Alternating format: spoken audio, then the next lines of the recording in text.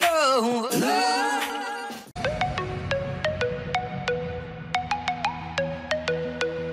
Hey guys, Szymon here, welcome back to another episode of my Matchday Vlogs. Today is Derby versus Wigan and getting straight into my prediction. I think this game is I'm going to go two ways I'm going to absolutely smash them.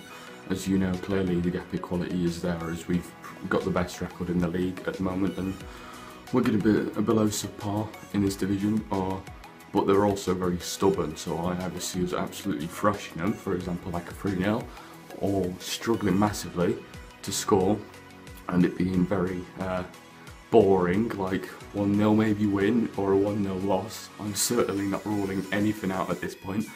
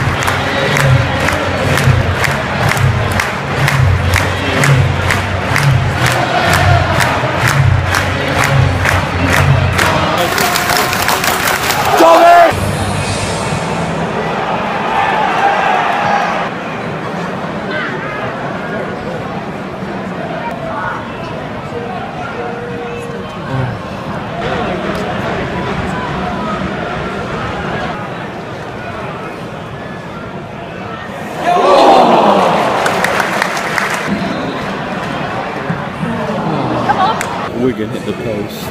Carson saved us twice. There's nothing more to say. We're absolutely inept in this half and we need to improve. Hughes passes are going astray. It, it's all falling apart to be honest. I mean Wigan but a fuming that they're not at least 2 0 up.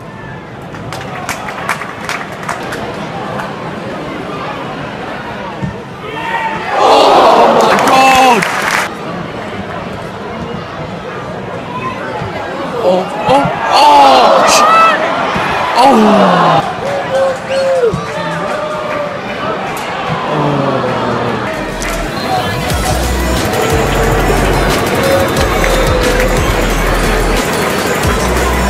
Right, so now I'm not gonna sit here and slag off Wigan. They came here to do a job, and they did that job. They put 11 men behind the ball. I managed to see uh, it, the game out for a draw, which you mean for them, I, I bet that's good. But what I don't understand, right, is I'm, I swear they're in relegation zone, so they should come out and try and win the game to get out of the relegation zone instead of playing for a draw.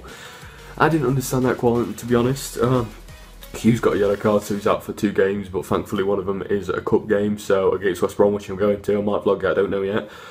But Hughes is out for two games, but luckily for us it's one league game. But the one league game it is, is Norwich away, and I'm scared about the fact that we're one point behind the playoffs. So we managed to bottle a chance of getting into the playoffs, and now we've got Norwich away next, which means don't make it any easier. The lack of, like, lack of goals from up front is kind of you know what a, a big warning sign for me. I mean, it, like if we don't have in scoring, no one's really scoring. So we sort of need Martin back, and I mean, I hope he does come back. But like what Slavisa Jokanovic said about him, I don't think he is coming back. So we need to like, look for a striker in the window. Uh, but yeah, so it's a draw. It's very disappointing, but it's ten unbeaten, so that's the positive sign that we managed to keep another clean sheet. Hopefully, you did enjoy the slog. There's nothing much to enjoy about it, but yeah, this is Szymon Mr. Goes and peace out.